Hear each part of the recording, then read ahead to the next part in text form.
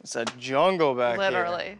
It's actually like a pretty good sized yard. It's just filled with stuff. There's so many bugs. Obviously, your fence is failing. Here's my biggest concern now. What always kills us, costs thousands of dollars, is irrigation. Can we look for sprinkler heads right now? Yeah, we can. Okay, let's do that. It makes me think there's something because it's green. Holy, What? look at that beehive. Watch out, honey. I like bugs. Are you okay? That thing was huge. yeah, it attacked me. If we buy this house, we'll have to deal with the bees before cleaning up the yard.